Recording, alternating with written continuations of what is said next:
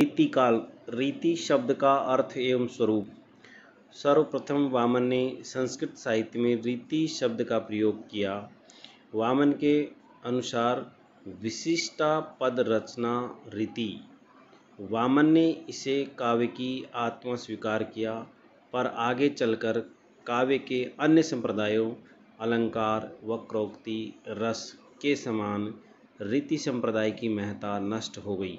और हिंदी में रीति शब्द का अर्थ विद्यापति के समय से एक अन्य अर्थ में होने लगा, वह है काव्य रचना पद्धति तथा उसका निर्दर्शक शास्त्र।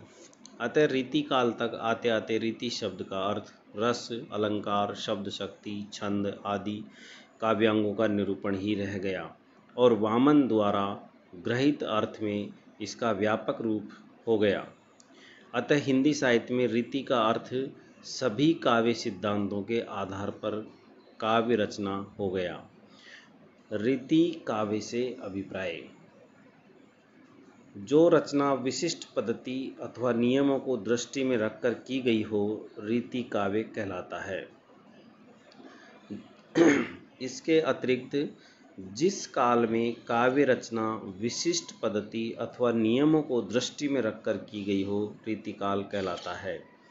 रीतिकाल का जो समय निर्धारित किया गया है, वो आचार्य रामचंद्र शुक्ल ने हिंदी साहित्य के इतिहास में संवत 1700 से लेकर के संवत 1900 तक के काल को उत्तर मध्यकाल एवं रीतिकाल के नाम से परिभाषित किया है।